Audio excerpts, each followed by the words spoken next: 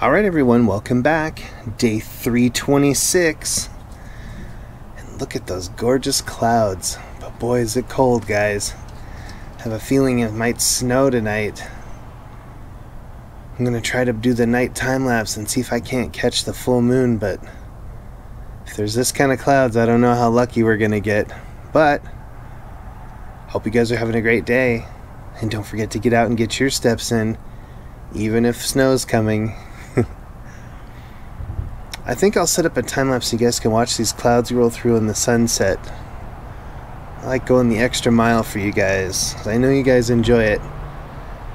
So I'll set up that time lapse tonight, and I'll see you guys tomorrow. We'll do it again.